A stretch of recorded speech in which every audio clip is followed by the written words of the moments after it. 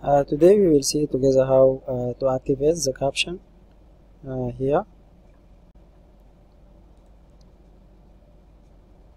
As we can see here,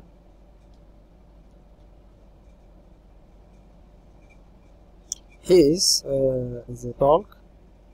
And when we get uh, click in this uh, caption here is